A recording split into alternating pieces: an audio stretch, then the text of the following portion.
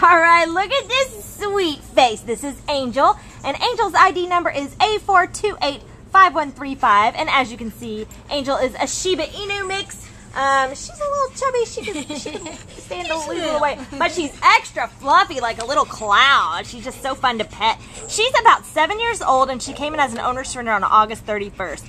And her previous owners had her for about five years. We're not really sure why they gave her up. She weighs 32 pounds, and as I mentioned, um, she could stand to weigh a little less than 30 pounds probably. She, um, her previous owners told us that she gets along well with other dogs, and as she's been out here, we've seen that she's been very cooperative on leash. She walks around nicely.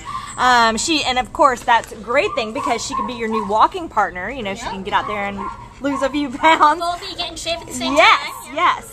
Um, she's very curious. She likes to walk around and meet everyone and see what's going on. And um, she's shown signs of being housebroken. And as I said, she's good with other dogs, according to her previous owner. So we think she'd fit in in pretty much any situation.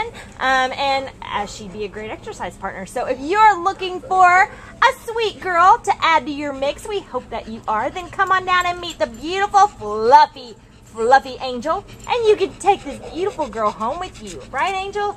Yeah, yeah, yeah. You're so pretty. Bye, sweet girl.